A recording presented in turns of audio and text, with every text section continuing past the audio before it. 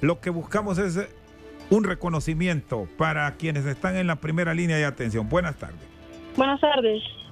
Eh, solo para aclarar eh, de lo que están diciendo, de que yo era una empleada malcriada, creo que en ningún momento yo le falté ni tanto el respeto como a mis autoridades, mucho menos a un paciente, porque ante todo mi familia me crió con muchos principios, ¿no? Y es algo que nos comentan a nosotros al momento del estudio de la carrera, siempre tratar a los pacientes con el debido respeto que se merecen. suficiente con una padecencia que los está agobiando cada día para nosotros a maltratarlos.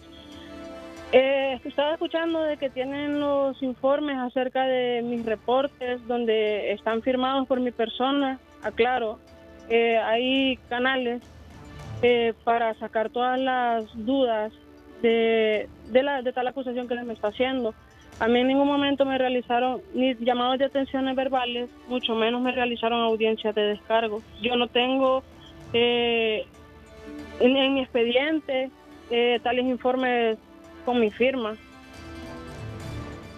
Tampoco tuvo llamados de atención en su momento, ni ha firmado absolutamente nada que haya en su momento dicho las autoridades que usted habría tratado mal a un paciente. No hay nada firmado por usted, ¿verdad? No, no hay nada firmado por mí.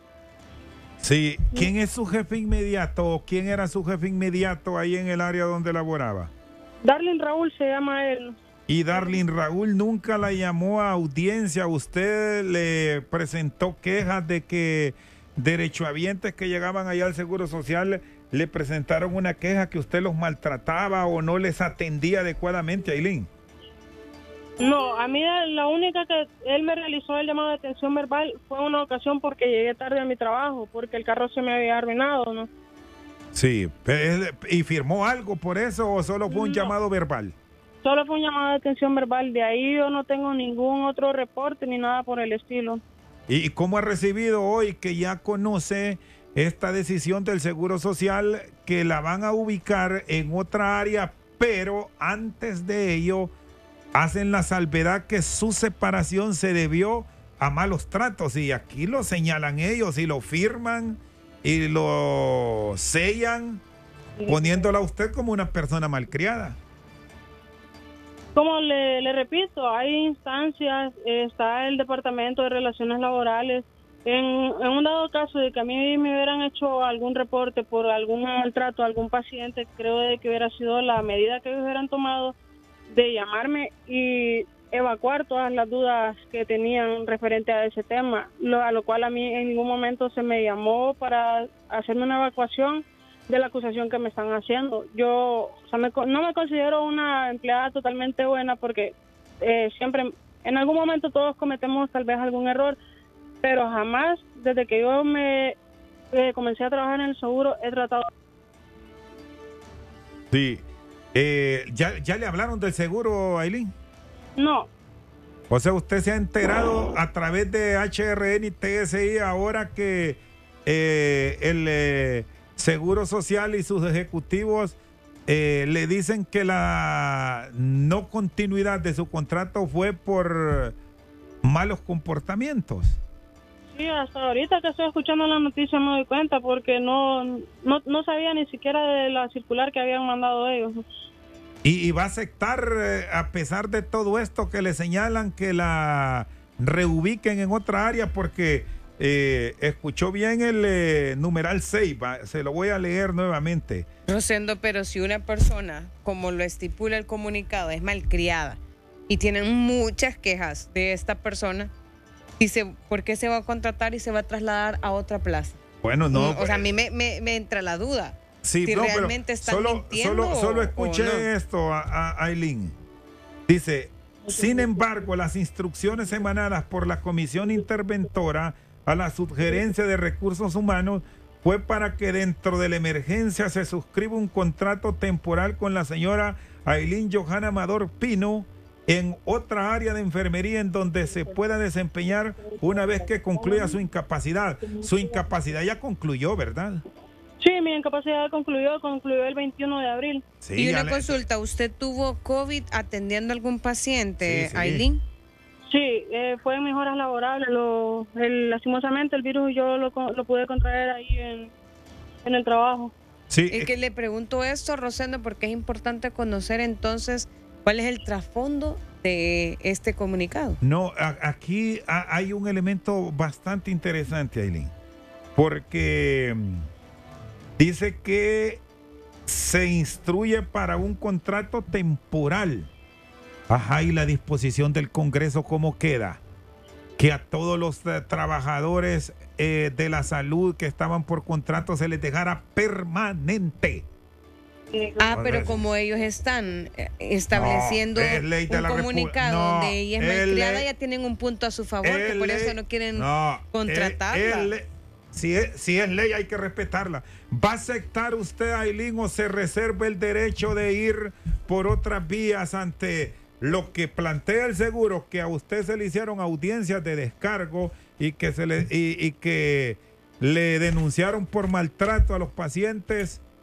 ¿O va a quedarse como está y, y va a esperar que la nombren en otra área? ¿Qué, qué ha definido o todavía no lo tiene claro? No, no voy a reservar eh, qué medidas voy a tomar ¿no? y si voy a aceptar el, el reintegro en un dado caso. ¿no?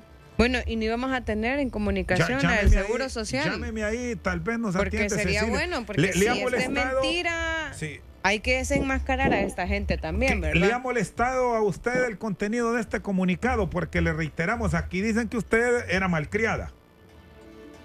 Sí, sí me molesta, obviamente, porque imagínense que fuera en un futuro, yo llego a otras instituciones con mi expediente para pedir trabajo, eh, no me van a querer contratar porque se van a basar en que yo soy una empleada problema, una empleada malcriada, que trato mal al derecho habiente. ¿no? ¿Cuántos años lleva usted como enfermera, Aileen? Ejerciendo cuatro años, Cuatro años. Y en el Seguro Social, dos. dos años. ¿Va a pedir usted eh, que le limpien ese expediente y así llevar la fiesta en paz? Sí, sí lo voy a pedir.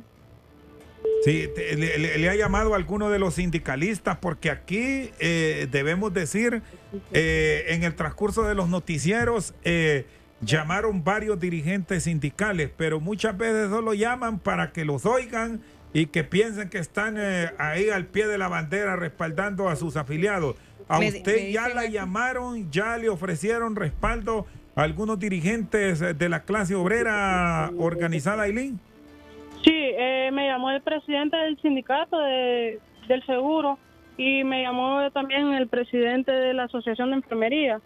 Sí. Y me gustaría que usted, en el dado caso, es una sugerencia personal, no quiera, y con toda justa razón, eh, nuevamente ser reintegrada en el Seguro Social, que se aboque a la Secretaría de Trabajo y que po- interponga una denuncia en contra del Seguro Social, porque esta es una difamación y la difamación es penada en el Código Penal. Vamos a y ver. vea usted, aquí en, en un mensaje de texto que nos llega, nos informan que lo que aprobó el Congreso Nacional para que los empleados de salud tengan todo acuerdo, sea, que todos tengan acuerdo, no ha sido sancionada ni publicada en la Gaceta. No, pero está No aprobada. es ley todavía, Sí, faltan esos pasos. Pero eso solo es de que lo aprueben, Bueno, que, pero lo, que que lo publiquen. Usted sabe que hay unas cosas que las aprueban rápido en Sí, la pero ya está aprobado en el no. Congreso. Aileen, habló con el ingeniero Madero.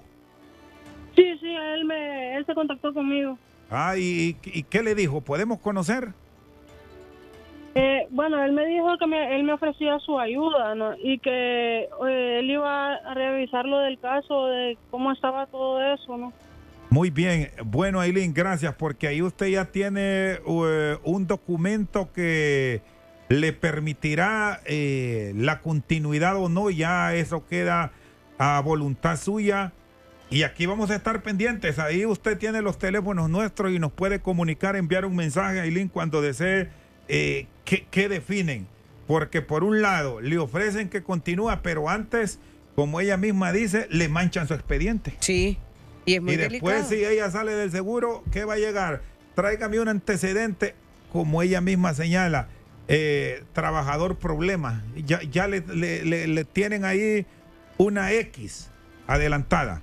Bueno, Aileen, gracias por recibirnos nuevamente la comunicación. Y hay que dejar en evidencia que esta persona del Seguro Social no contestó y me gustaría que pusiéramos en vivo la llamada para que suene y quede constatado de que no contestó, por algo no contestó, Ah, porque no. viéndonos está. Estoy Bueno. segura. no perdamos tiempo, nosotros la llamamos y la llamamos.